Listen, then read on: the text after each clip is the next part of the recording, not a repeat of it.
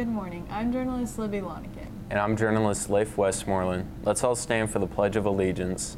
I pledge allegiance to the flag of the United States of America and to the republic for which it stands, one nation, under God, indivisible, with liberty and justice for all. Please remain standing for our morning prayer. In the name of the Father, the Son, and the Holy Spirit. O Jesus, through the Immaculate Heart of Mary, I offer you my prayers, works, joys, and sufferings of this day.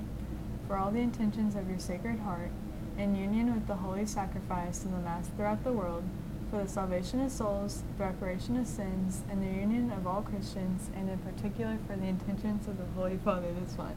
Saint Joseph, pray for us. In the name of the Father, the Son, and the Holy Spirit, amen. Food Services Director Jeff Crowder has today's lunch menu. It's Thursday. Good morning. Today's menu will be chicken bacon ranch, broccoli, salad, garlic cheese biscuits, and fruit. The big news in sports today, if spring weather doesn't interfere, is that two of our teams are headed in opposite directions for their initial games in the state tournaments. Our soccer girls, including my seatmate here, travel north to Harrison for a game with Danville that starts at 1 p.m. And while I'm on my way, the baseball boys will be going south to Taylor for their game with Armorel. We wish good luck to both of them and especially to Libby, who will be trying to, her hardest to score.